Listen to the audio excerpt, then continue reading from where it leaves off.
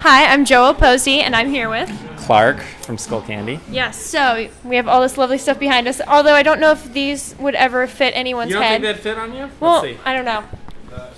That'd work. Hey, it's fun. These are for the big, big guys that come through. Right, They sound huge great. athletes, they sound you know, great. good to go. Check it out. Um, no, we're showing off our new fixed bud technology. So everyone knows what the problem is with earbuds.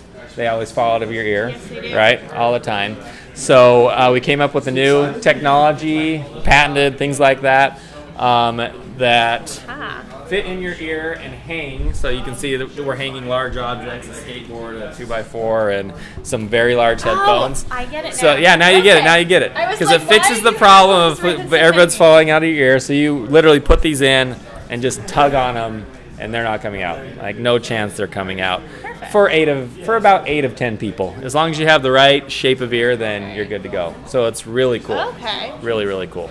So that's what we're showing off uh, this. This shows like the concept of how it came up and you can see the problem earbuds fall out of your ears the solution earbuds that stay fixed in your ears that's very simple It's but very, cool Very simple yet brilliant. Yes. At the yes. same time. So we're doing that, and then uh, also sticking with some of our other classic models, the Roc Nation Aviator that we've uh, done in the past that everyone's loving, and I don't know, just having fun in the Skullcandy Suite like uh, like we always do. Perfect. Sweet. So we gotta we gotta get our fix. Yep, get your fix with the fix. Love it. That's true. That's Okay. true.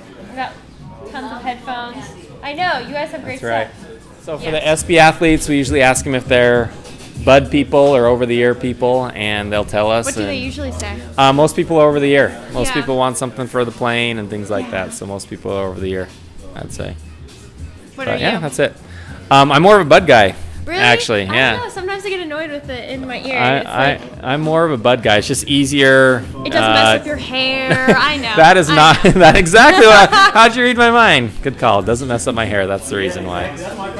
If we want to catch up with you online, where should we go? Uh, www.skullcandy.com. Facebook. Search for us on Twitter, Skullcandy. Or wow, on Facebook or Twitter, just search for Skullcandy. You'll find us. We're out there. Great. Thanks. Yep. Thank you.